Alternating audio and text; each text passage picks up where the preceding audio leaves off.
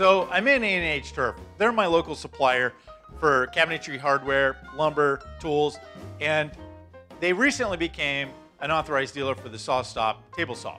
So I'm in picking up materials, and Roger, the tool guy, comes up to me and he says, "Hey Todd, are you going to come to the uh, SawStop demo?"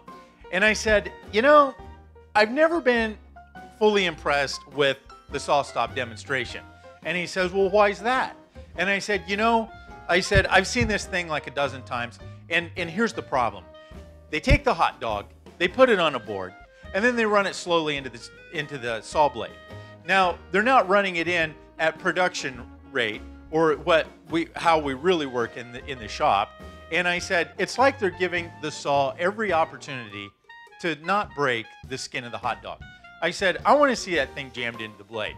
And I said, and you know what else? You know what would really impress me? I said, I'd like to see the hot dog stuffed into a glove and run into the blade.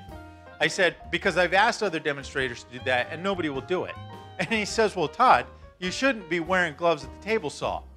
Yeah, no duh, but 19 years experience as a contractor, and I can tell you that you can walk onto any job site, go into any cabinet shop or millwork shop, and almost 100% guaranteed you're gonna see somebody stand at the table saw with their gloves on.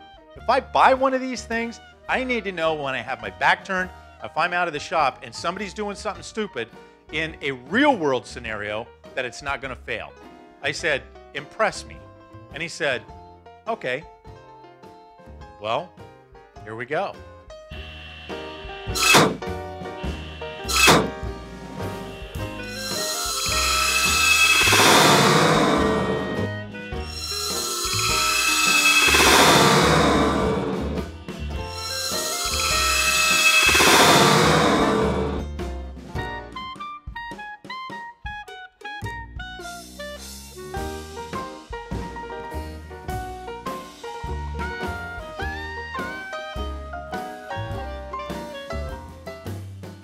Okay.